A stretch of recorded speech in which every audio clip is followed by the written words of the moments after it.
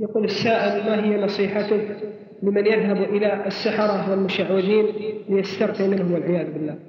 أعوذ بالله. لا حول ولا قوة إلا بالله. إذا صرف الله قلب الإنسان في أي مصيبة وأي شدة إلى أحد سواه فليعلم أن الله قد خذله. إذا جاءتك أي حاجة ووجدت شعبة من شعب قلبك تنصرف إلى أي شيء من دون الله فاعلم أن الإيمان ناقص. ولذلك أي حاجة تأتيك وأي مصيبة تنزل بك ولو كان عندك قدرة على دفعها فليكن عندك يقين أن لا حول ولا قوة إلا بالله العلي العظيم. إياك أن تعتمد على مالك أو على قوتك أو على قدرتك ولكن اعتمد على الله وحده ولا شريك له. فكيف بالسحرة والمشعوذين؟ والله لن يغنوا لك من الله مثقال ذرة أو مثقال خردلة. فالله سبحانه وتعالى هو الذي يشفيك وهو الذي يعافيك وهو الذي يهمك وهو الذي يزيل همك وهو الذي يغمك وهو الذي يزيل غمك. فاعتقد في الله وحده لا شريك له. أما السحرة فإنهم لا يضرون أحدا إلا بإذن الله. وكم من ساحر خيب الله ظنه وقطع سحره وجعله وبالا عليه في, في, في جل أمره. فكن أخي في الله قوي اليقين بالله عز وجل. سبحان الله. يذهبون إلى السحرة والمشعوذين يخسرون الأموال والأوقات ويعلقون القلوب بمن لا يسمن لهم ولا يغني من جوع. وكل الأمر يقف عند لحظة واحدة يدعو فيها ربه ويستغيث بالله جل جلاله. يتركون الله الذي بيده النفع والضر ويستغيثون بمن عداه. نسأل الله السلامة والعافية. فنعوذ بالله العظيم رب العرش الكريم من هذا البلاء.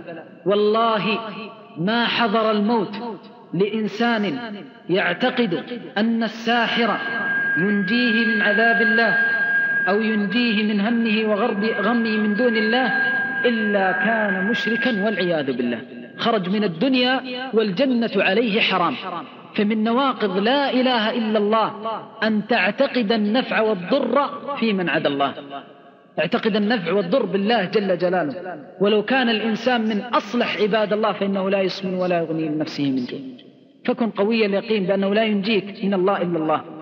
فلا أحد يغني من أحد لأحد من الله شيئا. أذكر ذات مرة رجلا نحسبه من الصالحين. كان عنده رجل ساحر ولم يكن يعلم بأنه ساحر. كان عنده في مزرعته. فجاء هذا الساحر وكان يسهر بالليل ويفعل بعض الأفعال المريبة.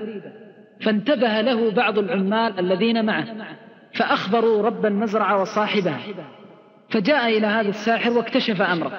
فقال له لن تبقى عندي لحظة واحدة. وكان رجل عنده إيمان. قال له أبدا ما يمكن أن تبقى عندي. فقال له الساحر سأضرك. قال لو علمت أنك تضر وتنفع من دون الله ما أخرجتك من مزرعتي. وبيني وبينك الله الذي لا, لا رب سواه.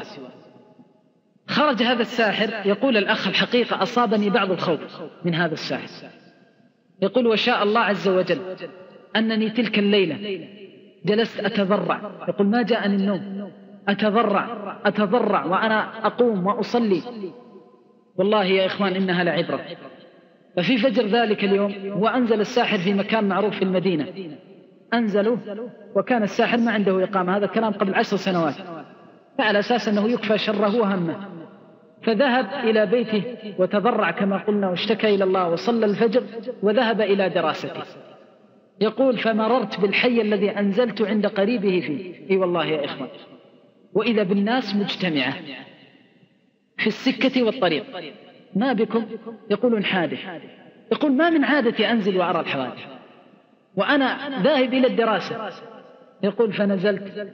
وإذا بصاحبه قد ضرب على الأرض والدم يسيل من أذنه ومن أنفه ميتا على الأرض. ما أحد يغني لأحد من الله شيء. لكن المشكلة أننا ما قدرنا الله حق قدره ولا عظمنا الله حق تعظيمه ولا التجأنا إلى الله حق لجئه فليكن الإنسان على يقين لأنه لا ينفعه ولا يضره أحد من دون الله. قل إني لا أملك لنفسي نفعا ولا ضرا إلا ما شاء الله. فنسأل الله العظيم أن يصرف قلوبنا وقلوبكم إليه إنه ولي ذلك والقادر عليه. والله تعالى